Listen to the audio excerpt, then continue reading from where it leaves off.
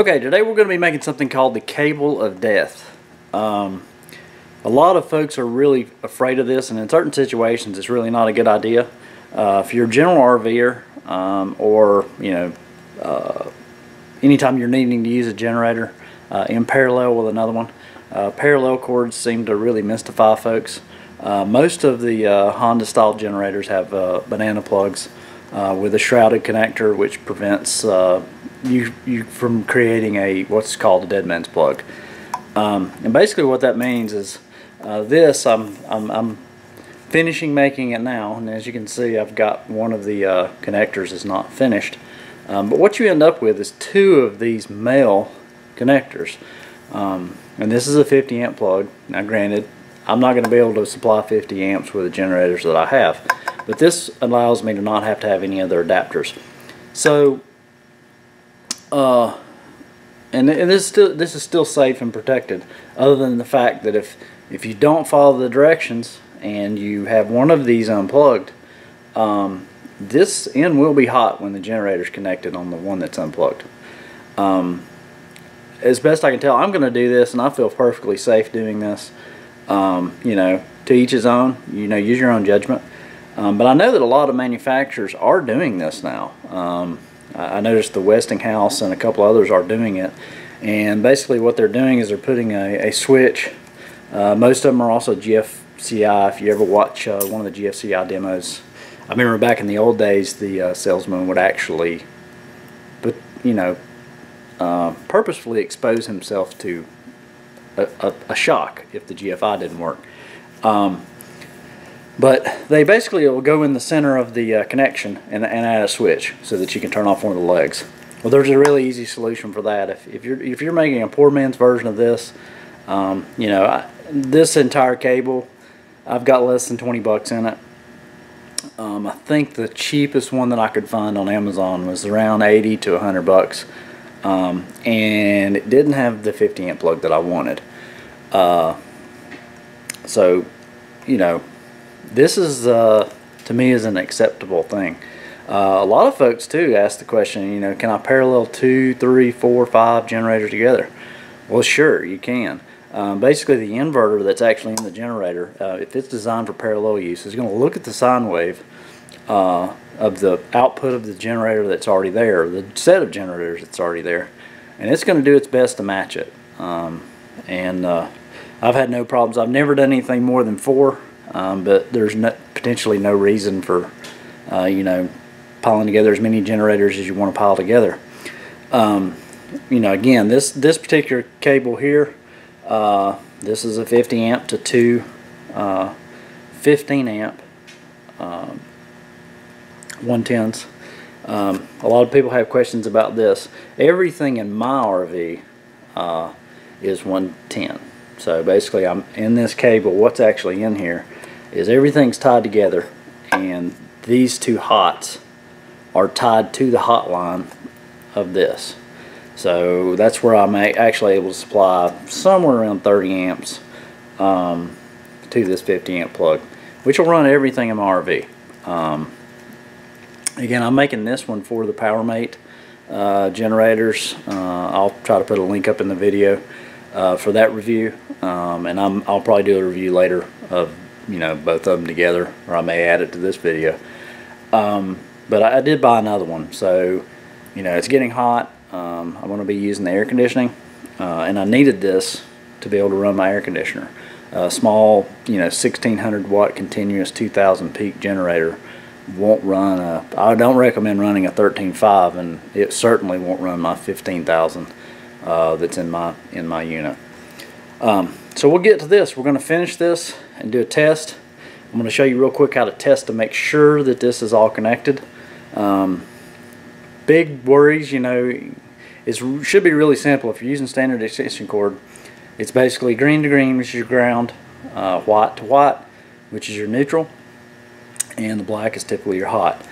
Um, depending on what kind of connector you put, this is a standard thing. You know, this is purchased at Lowe's. Um, I believe it doesn't show the brand on it, but this is a 1450R uh, 50 amp connector. Uh, most of these that you buy commercially are 30 amps, which are fine, and I've got a 30 amp adapter. I just it, these are basically cost the same amount of money. Um, so it's actually quicker just to put it all in one uh, for my particular application. But on these, these are really simple. You've basically got a ground connection and a neutral. Um, and you have two hots. So basically you want your hots that are here attached together to the hots that are here, not separate. So basically you have two hots here and you want to actually tie these hots together and connect both hots so that both of them are connected here. If you actually do uh, two separate ones, you'll end up with two phases. You'll end up with two phases more than likely. The issue is, is they will not be connected together. So that's not what that's not what you want to do. So the special thing on this on this 240 plug um, is to actually not only tie these two hots together so they're the same phase, um, but also to tie both of the uh, the hots that are coming from this side to your rail here. So basically what this looks like inside is you have a wire that goes from the hot to the hot and then you have both hots coming in and con contacting that same wire. So it basically forms a bus between these two hots here. I hope that helps. We're going to get to finishing this up and we'll go do a test. Okay, we got our cable of death going and air conditioner's on. I got the TV on and a couple other things inside and uh, obviously it's charging the battery as well.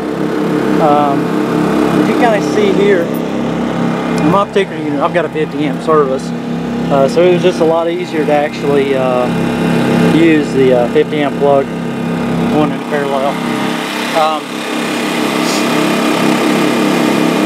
I'm going to go over this again without the gens on, but I just wanted to mention, basically what you don't want to do here is come up and unplug one of these cables while these generators are running. Shut both generators down before you make any changes. Uh, we'll just go inside here and some appliances. Uh, both of those gens right now are running uh, in econo mode. And it doesn't have any problem starting the AC unit in econo mode ramping up to speed. So really once you crank them you really don't have to go back out and mess with them until they run out of fuel. Um, I've got my my ACs running. Um, I've got TV going I am powering the uh, refrigerator off of uh, those two gen sets outside and as you can see um, I can start the microwave without any effects. Uh, so that's pretty much full load. I can I can pretty much use anything in the RV uh, with just two of those gens. Uh, they did have an Onan option. Um, the Onans that I that I looked at it for this trailer, it, um, they're relatively loud. I, I can't even hear the gens from the inside. I can hear the AC unit in here. Um, you know, in the TV, but I can't hear them outside, and I've got them directly right in front of the bedroom, which is not typically where I run them. I recommend recommend that you get your generators as far away from your RV as possible uh, to keep any fumes from getting in the uh, in the unit.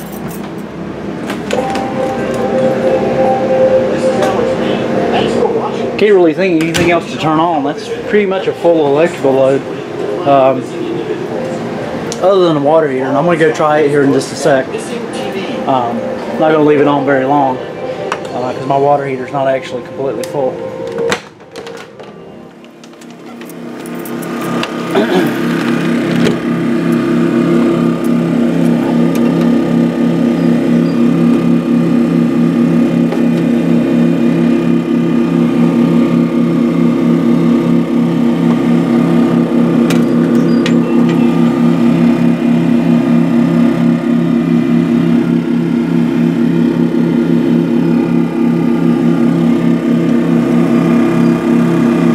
Check, make sure that I have water in the water heater. A good way to do that is just let a little bit bleed out from your um, your valve, excuse me. Um, as long as you've got water in the water heater, it's safe to turn on.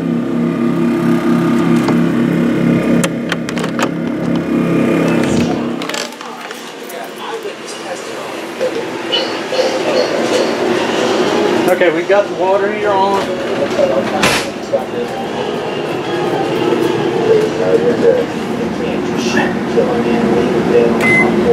And we can still start the microwave.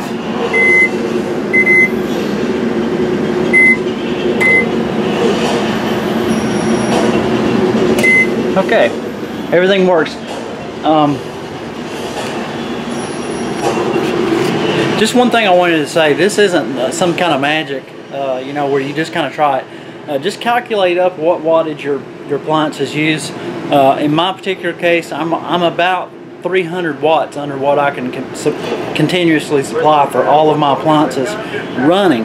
Starting, I can't start everything at the exact same time. If I had uh, all of my appliances on and I went out and I unplugged the 50 amp cord and plugged it back in, uh, it would be an overload condition because everything would be trying to start at the same time. So, you know, with a little bit of care and caution, um, you can actually get your AC unit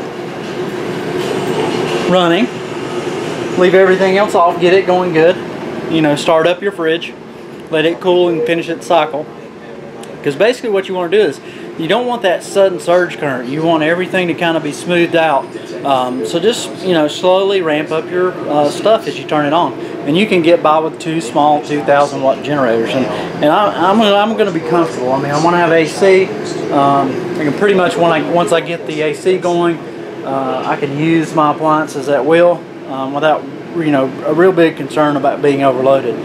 Um, now, now, granted, uh, fuel, I, am thinking I'm going to get just a few hours uh, at this load, uh, and I'm going to be running two gens, so it's going to burn some fuel. Um, you know, that's the advantage of having a toy hauler is, you know, you've got a, uh, uh, a fuel fuel pump in the back of the unit. Uh, my particular unit holds 30 gallons, um, so I, am going to be set for a weekend. Um, one reason that my particular toy hauler, and, and, I'll have to revisit this, and I may, that's the reason I mentioned the parallel generators, um, more than paralleling two, but actually paralleling three or four, is here, um, I actually have a spot for another AC unit. Um, this, this has a 50 amp service in it. It's designed to support a second unit. Um, I haven't had any real issues other than the fact that, you know, air really doesn't come back here. It's not that I use this a whole lot, um, you know, but if I had a, a, larger group of people that came with me or something, uh, I may need to keep this cool. I don't, I don't really foresee it happening because typically around here at night, um, I typically, typically stay around the western North Carolina mountains uh, and Tennessee. Uh, and typically at night it's not too bad. Uh, the AC unit's going to be able to keep it down cool. Uh, my particular unit in my bedroom has a, uh, you know, a vent, so, I, so it distributes air really well from this main unit. Okay, I'm going to get all this shut down and we'll go out and take a look at the cord again with the gens off. Okay, we're at the two gen sets. And it's pretty much that simple. You basically plug both of these in. Both generators are off and ready to be cranked. Um, one thing that I'll say, you know, this is kind of a on the PowerMate thing, and I'll put another link to that video um, in this. But originally I bought one of these. Now I have two. Um, this economy mode, you'll actually want to set that to off when you initially crank them. Uh, you know, sometimes I like, uh, I'll, I'll leave this unplugged and I'll actually crank both units up and let them warm up before I actually do this parallel because it does take a little bit of energy um, to get these things synced up it seems and sometimes they don't want to really crank really well uh, if if they're cold or what have you. Uh, I've noticed that they definitely will not the, the second one will not crank or the first one won't crank. Um, if you don't have this economy mode turned off uh, a lot of times it'll have trouble getting going and started. Um, but in this one I've already got them warm and basically all you need to do is turn it to run. Fire up the first generator. Be sure that both plugs are plugged in. You don't want to be firing up a generator. Um, with only one of the plugs plugged in.